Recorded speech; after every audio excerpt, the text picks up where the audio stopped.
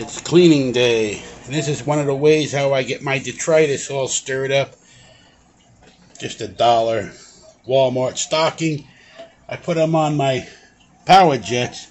And if you can look closely inside there, you can see all the detritus getting caught in there. It can't go no. There's a big patch of it right there. And you can see it all inside the sock. So what I do, I get another power head. If I can get it off here. And I'll go blow all that stuff off the rocks. And there's another one I have on the other side of the tank also, if you want to show over there. I have another stocking. That's going to pick up all the detritus like a vacuum cleaner. And then I'll do a water change once the water kind of goes clear.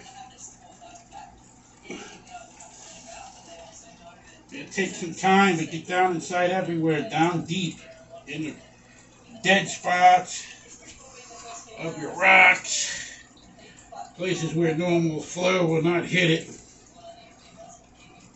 And it works just like a vacuum cleaner.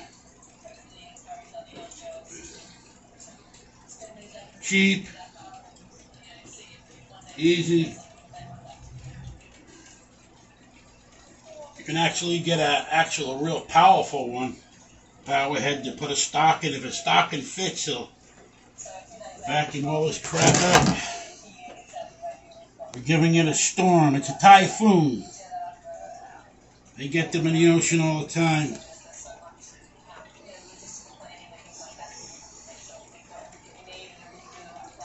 I actually think corals like typhoons. It's all kinds of food. But as you can see, it gets pretty, pretty dirty in there sometimes. Today's a major cleaning.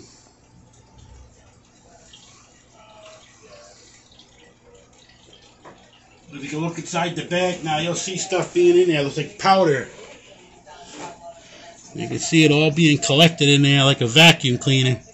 I don't know if you can see it on video, but I can see right here in this corner, it's already collecting a big, quite a good chunk of it. And up there, just blow in there like a vacuum. Ain't going nowhere.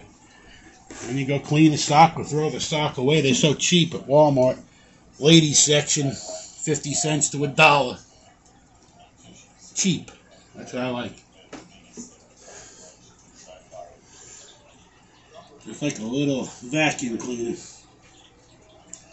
Go over here with this one. Anything on there?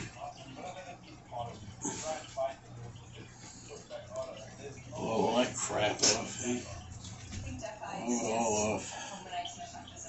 See algae getting sucked up in it. it works. Never works. Then we'll get the bottom with hose and suck out all what's left on the bottom after everything clears up. With the water change.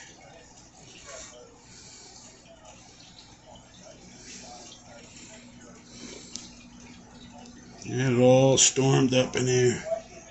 Typhoon Tom just hit the reef barrier.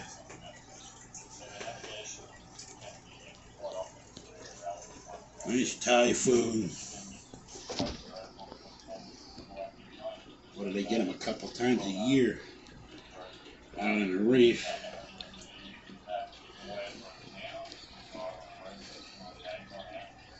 Any big pieces you see, you can always work with a net too and get some of the crap out.